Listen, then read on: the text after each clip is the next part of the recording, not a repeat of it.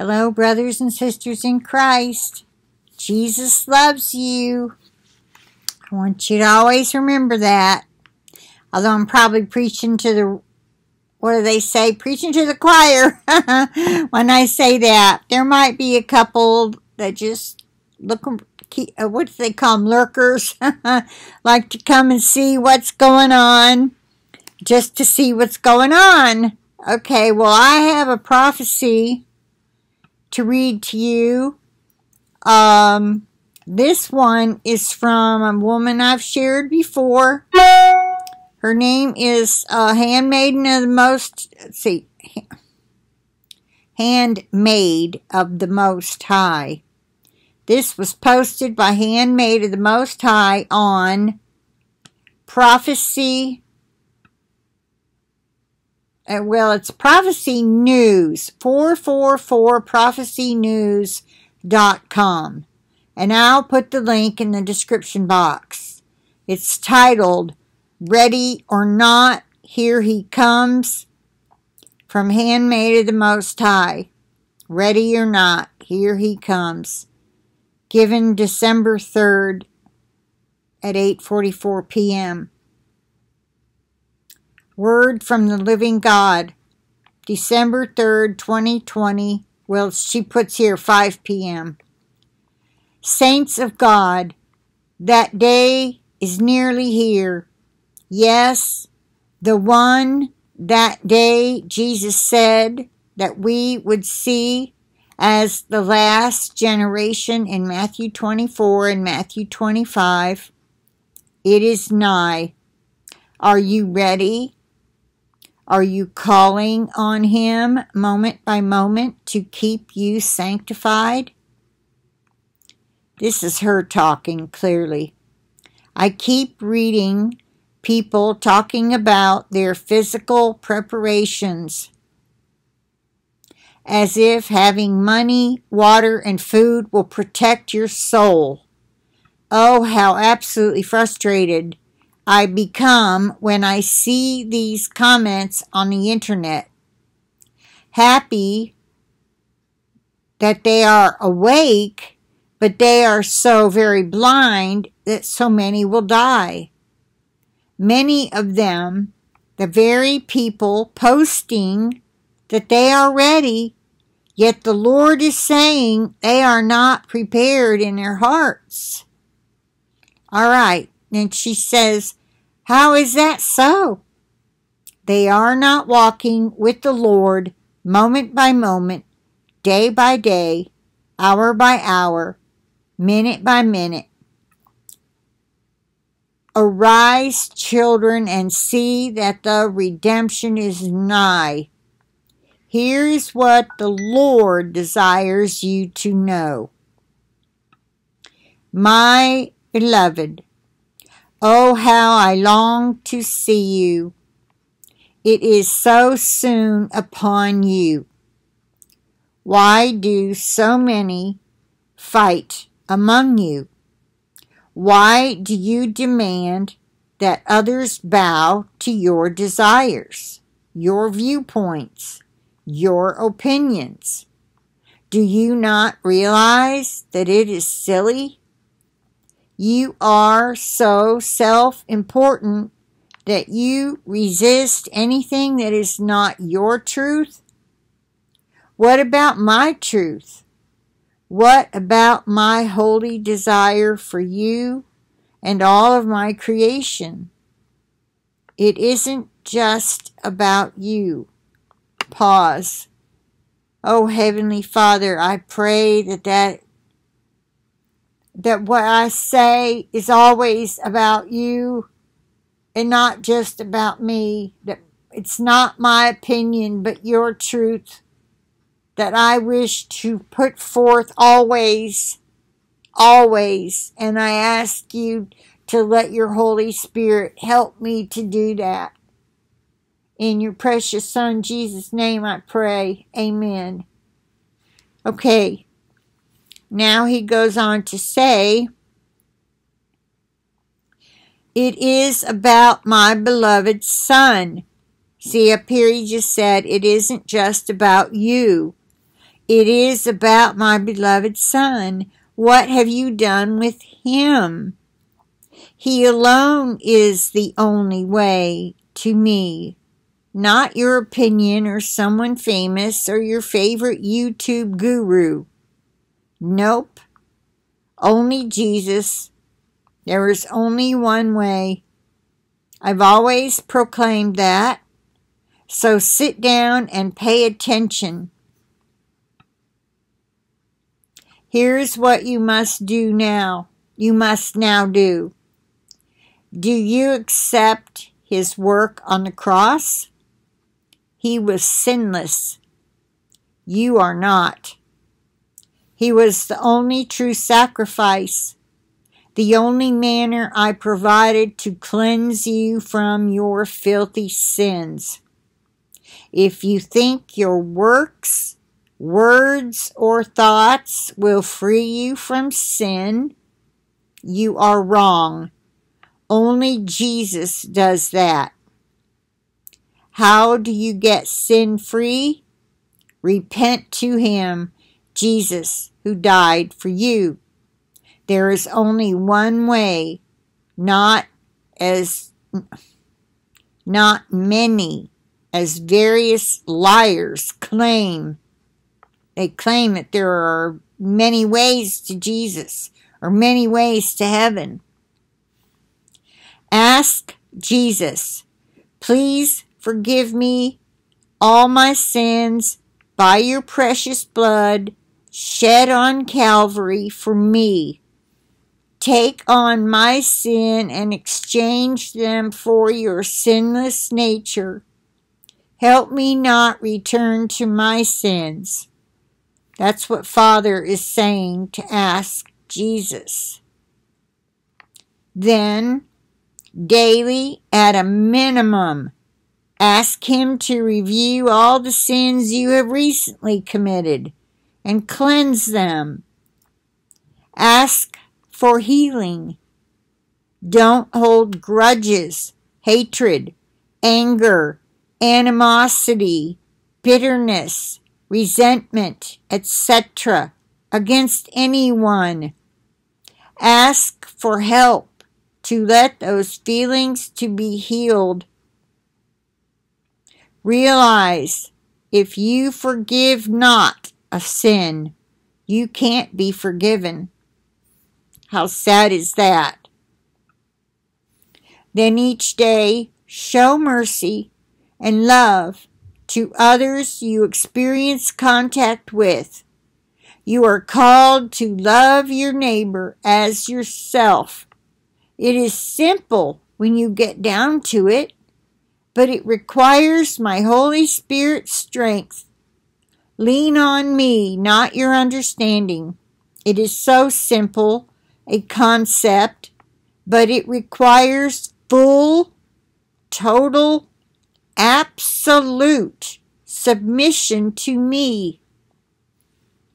I love you and many are coming very soon as destruction is unleashed on your planet.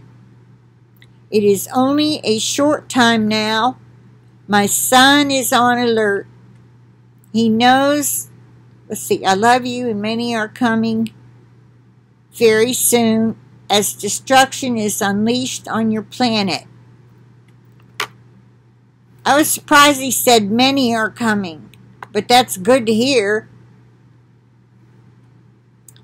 That was my only, um, I've never heard a message where it was saying many are coming. It was always very few. So we take this to the Lord. I didn't want to not share the whole thing because of one word. So if you don't want to believe it, it's up to you, but I would not say that it came from uh, an evil spirit. I'm not going to go there. Okay. Still Father speaking. I love you, and many are coming very soon as destruction is unleashed on your planet. It is only a short time now. My son is on alert. He knows that many are coming. and He is so excited to welcome you, beloved ones. See that you are ready, one and all. I am sending Him to make the way. Those who do not get to escape now will soon be joining us because of other planned assaults upon your flesh. Do not despair, my lovely children. It is all in my word. Ask my Holy Spirit to reveal it to you.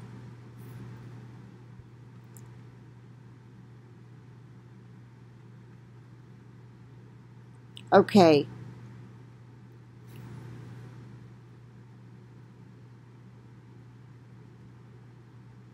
See, those who do not get to escape now will soon be joining us because of other planned assaults upon your flesh. Yeah, that's the wrath of God. So those who are born again and repenting and loving God and realizing their mistakes and getting cleaned up, they will join us soon after. I figured it was soon after. Ask my Holy Spirit to reveal it to you. Do not fear the loss of your life. I am here on the other side. I am awaiting your arrival it is better to serve me unto death than surrender to the plans of the enemy. I said, Whoever loses his life will gain it, and whoever seeks to gain his life will lose it. I meant that. Do you not see? It isn't a riddle, beloved.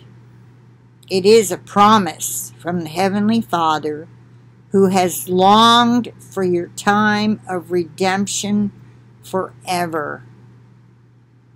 I love you so much. I'll see you soon. Take refuge in my word. It is faithful and true. Believe not those who promise silly words but are not grounded in me and that's the end. And it just says, Handmaid of the Most High.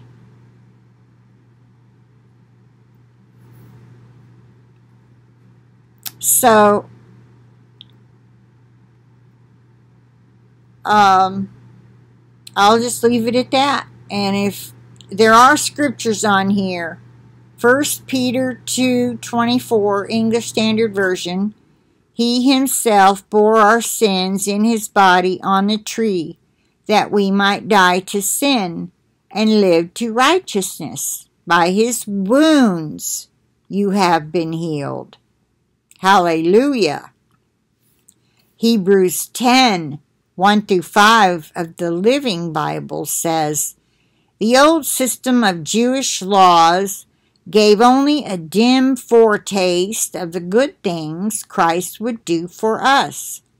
The sacrifices under the old system were repeated again and again, year after year, but even so, they could never save those who lived under their rules. If they could have, one offering would have been enough. The worshippers would have been cleansed once for all, and their feeling of guilt would be gone. But just the opposite happened. Those yearly sacrifices reminded them of their disobedience and guilt instead of relieving their minds. For it is not possible for the blood of bulls and goats really to take away sins. That is why Christ said as he came into the world, Oh, I'm sorry, my lips are getting chapped. Oh God, The blood of bulls and goats cannot satisfy you. So you have made ready this body of mine for me to lay as a sacrifice upon your altar. Then she added Hebrews 10 17 through 22. Oh, there are several here. Matthew 6 15. But if ye forgive not men their trespasses, neither will your Father forgive your trespasses. Luke 21 24 through 28. You can look those up. Matthew 16 25. Revelation 5 7 through 10.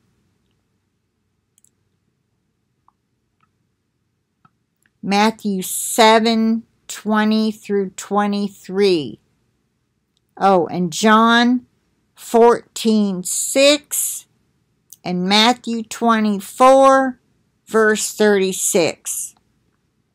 Okay, so if you want to look those up, you can just pause the video, write them down, back it up, pause it, write them down, whatever, and look them up yourself because that's a lot of reading.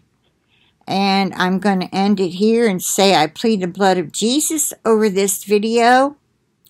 And I do pray that he will reveal to me and to you if this is not of him. Many are many going to go.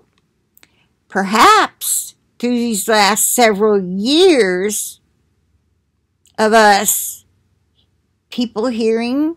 I used to hear from him. I just haven't lately, like a year and a half. But I had several messages, but it was, you know, 2013, 2014. A lot of people did that back then. Even um, uh, Marriage Supper of the Lamb, Susan Davis, she got hers in like 2009, 2010. Wrote them up in books, had them published. They're like 99 cents on Amazon. Susan Davis, Marriage Supper of the Lamb. You can download them onto a Kindle for 99 cents. And that goes to Amazon. She doesn't make a thing off of them. And so people have been getting their messages, and a lot of folks just won't believe it. I messaged my sister yesterday and told her, We're here. It's time.